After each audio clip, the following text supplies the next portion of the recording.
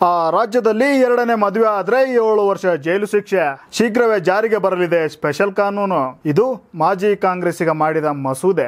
ನಮಸ್ಕಾರ ವೀಕ್ಷಕರೇ, ಕರ್ನಾಟಕ ಟಿವಿಗೆ ಸ್ವಾಗತ. ನಾನು ರಾಜಶೇಖರ್ ಜಾಗಿರ್ದಾರ್ ಇವರು ಅಸ್ಸಾಂ ಸಿ ಎಂ ಹಿಮಂತ್ ಬಿಸ್ವಾ ಶರ್ಮಾ ಅಂತ. ಇವ್ರ ಬಾಯಿಗೆ ಫಿಲ್ಟ್ರೇ ಇಲ್ಲ.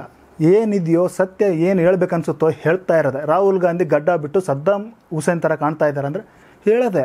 ಅದು ಬೇಕಾದ್ರೆ ಕೇಸ್ ಆಗಲಿ ಮತ್ತೊಂದಾಗಲಿ. ರಾಹುಲ್ ಗಾಂಧಿ ಸದ್ದಾಂ ಹುಸೇನ್ ಥರ ಕಾಣ್ತಾ ಇದ್ದಾರೆ ಹೌದು, ಹಂಗೆ ಹೇಳ್ತಾರೆ ಅವರು.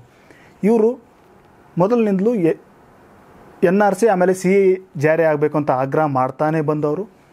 ಈಗ ಅಸ್ಸಾಂನ ಸಿ ಎಂ ಆಗಿದ್ದಾರೆ. ಈಗ ಅವರು ಒಂದು ವಿಶೇಷ ಕಾನೂನು ಥರ ಕೊಟ್ಟಿದ್ದಾರೆ. ಇವರು ಹಿಸ್ಟ್ರಿ ಒಂದ್ಸಲ ಹೇಳ್ಬಿಡ್ತೀನಿ ಕೇಳಿ. ನೋಡ್ರಪ್ಪ, ನಾನು ಮುಸ್ಲಿಮ್ರ ಓಟು ಬೇಡವೇ ಬೇಡ. ನಾನು ಮುಸ್ಲಿಮ್ರ ಗಲ್ಲಿಗೆ ಹೋಗೋದೇ ಇಲ್ಲ. ಯಾಕಂದರೆ ನಮ್ಗೆ ಅವ್ರು ಓಟ್ ಬೇಕಾಗಿಲ್ಲ. ಅವ್ರ ಗಲ್ಲಿಗೆ ಹೋಗೋದು, ಅವ್ರು ಓಟ್ ಕೇಳೋದು, ಅವ್ರು ಏನೋ ಕೇಳ್ತಾರೆ ನಮ್ಗೆ ಅದು ಇಷ್ಟ ಆಗಲ್ಲ. ನಮ್ಗೆ ಯಾಕೆ ಬೇಕು ಹೇಳಿದೆ? ಅದೇ ಕಾರಣಕ್ಕೋಸ್ಕರ ನಾವು ಮುಸ್ಲಿಮರು ಗಲ್ಲಿಗೆ ಹೋಗೋದೇ ಇಲ್ಲ. ಹಾಂ? ಇನ್ನೊಂದು ಕಡೆ ಅಸ್ಸಾಂನಲ್ಲಿ ಮುಸ್ಲಿಮರು ಅಲ್ಪಸಂಖ್ಯಾತರಲ್ಲ. ಅವ್ರಿಗೆ ಈ ಕೊಡ್ತಾ ಇರೋರು ಏನು ಸೌಲಭ್ಯಗಳಿದ್ದಾವಲ್ಲ ಅವ್ರನ್ನೆಲ್ಲ ಕಿತ್ಕೋಬೇಕು, ಹೊಸ್ತಾಗಿ ರೂಲ್ಸ್ ಮಾಡಬೇಕು, ಅವರು ಸಾಮಾನ್ಯರ ಜೊತೆ ಸಾಮಾನ್ಯರ ಥರನೇ ಇರಬೇಕು ಅನ್ನೋದು ಹಿಮಂತ್ ಬಿಶ್ವ ಶರ್ಮಾ ಮೊದಲಿಂದಲೂ ಹೇಳ್ಕೊತ ಬರ್ತಾ ಇರ್ತಕ್ಕಂಥ ಮಾತು.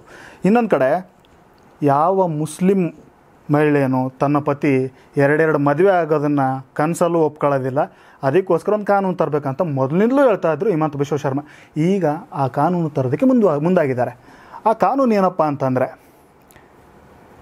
ಬಹುಪತ್ನಿತ್ವ ನಿಷೇಧಿತ ಕಾಯ್ದೆ. ಇದು ಇತಿಹಾಸದಲ್ಲಿ ಪ್ರಪ್ರಥಮ ಬಾರಿಗೆ ಭಾರತದಲ್ಲಿ, ಅದು ಅಸ್ಸಾಂನಲ್ಲಿ ಜಾರಿಗೆ ಬರೋ ಸಾಧ್ಯತೆ ಇದೆ. ಇನ್ನೇನು, ರಾಜ್ಯ ಸರ್ಕಾರ, ಅಸ್ಸಾಂನ ರಾಜ್ಯ ಸರ್ಕಾರ ನೂರ ನಲವತ್ತೊಂಬತ್ತು ಸಲಹೆಗಳನ್ನ ಪಡೆದಿದೆ. ಅದನ್ನು ನಲವತ್ತೈದು ದಿನಗಳ ಕಾಲ ಕರಡನ್ನು ಸಿದ್ಧಪಡಿಸಿದೆ. ಇನ್ನೇನು ಕೆಲವೇ ದಿನಗಳಲ್ಲಿ ಅದನ್ನು ವಿಧಾನಸಭೆಯಲ್ಲಿ ಮಂಡಿಸ್ತಾರೆ. ಅದನ್ನೇನಾದರೂ ಮಂಡಿಸಿ, ಅದಕ್ಕೇನಾದರೂ ಅನುಮತಿ ಸಿಕ್ಕರೆ ಅಸ್ಸಾಂನಲ್ಲಿ ಎರಡು ಮದುವೆ ಆದವ್ರ ಕತೆ ಎಲ್ಲ ಜೀವನ ಆಗುತ್ತೆ. ಅಲ್ಲಿ ಪೊಲೀಸರು ಮನೆಗೆ ಬರ್ತಾರೆ. ಎರಡೆರಡು ಮದುವೆ ಆದವ್ರು, ಹೆಣ್ಮಕ್ಳಾಗಲಿ ಗಂಡು ಮಕ್ಕಳಾಗಲಿ ಕರ್ಕೊಂಡು ಹೋಗ್ತಾರೆ, ಜೈಲಿಗೆ ಹಾಕ್ತಾರೆ. ಇಷ್ಟೇ ಕೆಲಸ ಅವ್ರದ್ದು. ಈ ಬಹುಪತ್ನಿತ್ವ ನಿಷೇಧ ಕಾಯ್ದೆ ಬಗ್ಗೆ ಅಸ್ಸಾಂ ಸಿ ಒಂದು ಮಾತು ಹೇಳಿದ್ದಾರೆ, ಟ್ವೀಟ್ ಮಾಡಿದ್ದಾರೆ ಅದು. ಒಂದಕ್ಕಿಂತ ಹೆಚ್ಚು ಹೆಂಡತಿಯರನ್ನು ಹೊಂದುವ ಪದ್ಧತಿ ವಿರುದ್ಧ ಕಾನೂನು ತರ್ತೀವಿ ನಾವು. ಬಹುಪತ್ನಿತ್ವ ನಿಷೇಧಕ್ಕೆ ಮಸೂದೆಯನ್ನು ಸಿದ್ಧಪಡ, ಪಡಿಸ್ತಾ ಇದ್ದೀವಿ. ಈಗಾಗಲೇ ಅಸ್ಸಾಂ ಸರ್ಕಾರ ನೂರ ನಲವತ್ತೊಂಬತ್ತು ಸಲಹೆಗಳನ್ನು ಸ್ವೀಕರಿಸಿದೆ. ಮುಂದಿನ ನಲವತ್ತೈದು ದಿನಗಳಲ್ಲಿ ಕರಡು ಸಿದ್ಧಪಡಿಸಿ, ಅಸ್ಸಾಂ ವಿಧಾನಸಭೆಯಲ್ಲಿ ಮಂಡಿಸಿ.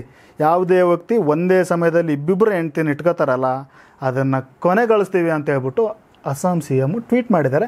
ನೇರ ನೇರವಾಗಿ ಇದು ಎಚ್ಚರಿಕೆ ಕೊಟ್ಟಿದ್ದಾರೆ. ಇದು ಹೆಂಗಿದೆ ಅಂತಂದರೆ, ಅಸ್ಸಾಂ ಸಿ ಎಮ್ಮು ನೇರವಾಗಿ ಮುಸ್ಲಿಮರನ್ನೇ ಟಾರ್ಗೆಟ್ ಮಾಡ್ಕೊಂಡಂಗೆ ಕಾಣ್ತಾ ಇದೆ. ಯಾಕಪ್ಪ ಅಂತಂದರೆ, ಅಸ್ಸಾಂನಲ್ಲಿ ಮುಸ್ಲಿಮರ ಸಂಖ್ಯೆ ಸಿಕ್ಕಾಪಟ್ಟೆ ಹೆಚ್ಚಾಗಿದೆ. ಈ ಕಾನೂನು ಯಾಕೆ ತರ್ತಿದ್ದಾರೆ ಅಂತ ಅನಿಸಿದ್ರೆ ನನ್ನ ಪ್ರಕಾರ ಅಸ್ಸಾಂನಲ್ಲಿ ಸಾವಿರದ ಒಂಬೈನೂರ ಒಂದರಲ್ಲಿ ಮುಸ್ಲಿಮರ ಜನಸಂಖ್ಯೆ ಬರೀ ಹದಿಮೂರು ಪರ್ಸೆಂಟ್, ಹನ್ನೆರಡು ಪಾಯಿಂಟ್ ಮೂರು ಪರ್ಸೆಂಟ್, ಹದಿಮೂರು ಪರ್ಸೆಂಟು ಅಲ್ಲ, ಬರೀ ಹನ್ನೆರಡು ಪಾಯಿಂಟ್ ಮೂರು ಪರ್ಸೆಂಟ್ ಇತ್ತು.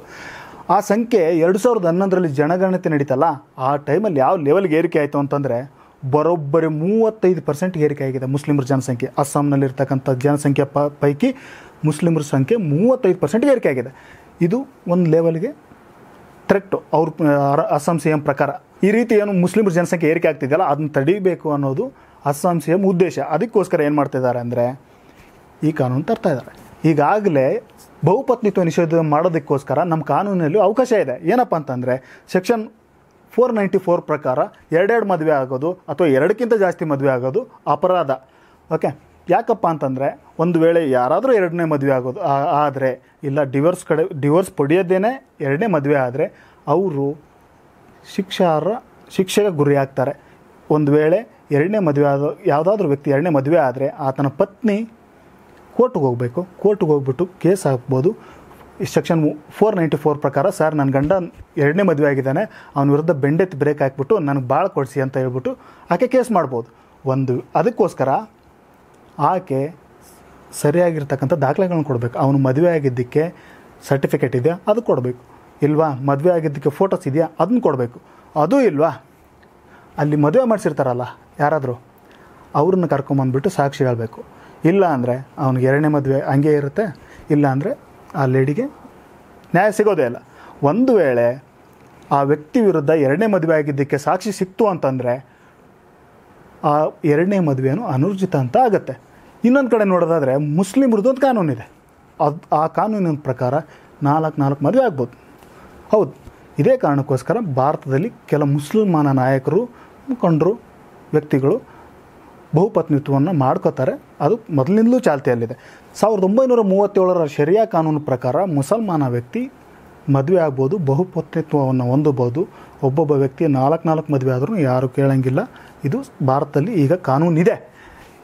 ಓಕೆ ಒಬ್ಬ ವ್ಯಕ್ತಿ ಎರಡನೇ ಮದುವೆ ಆಗಲಿ, ಮೂರನೇ ಮದುವೆ ಆಗಲಿ, ನಾಲ್ಕನೇ ಮದುವೆ ಆಗಲಿ, ಮೊದಲನೇ ಹೆಂಡ್ತಿ ಇರ್ತಾಳಲ್ಲ, ಆಕೆ ಯಾವುದೇ ಕಾರಣಕ್ಕೂ ಪ್ರಶ್ನೆ ಮಾಡಬಾರ್ದು ಅನ್ನೋದು ಭಾರತದಲ್ಲಿರ್ತಕ್ಕಂಥ ಕಾನೂನು.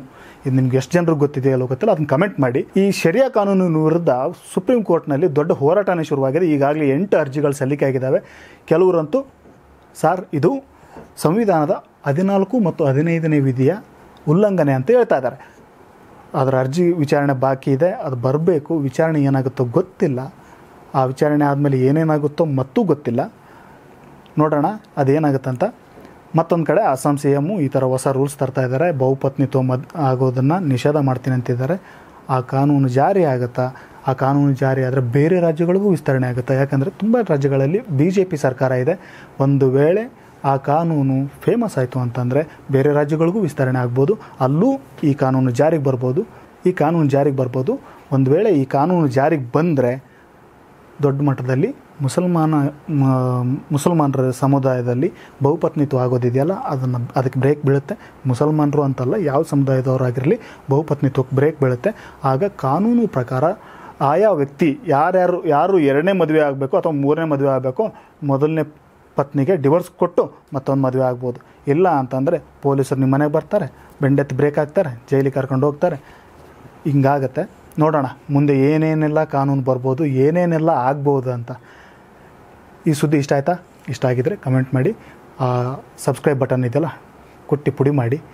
ಇದು ಕರ್ನಾಟಕ ಟಿ ವಿ ಕನ್ನಡಿಗರ ಧ್ವನಿ.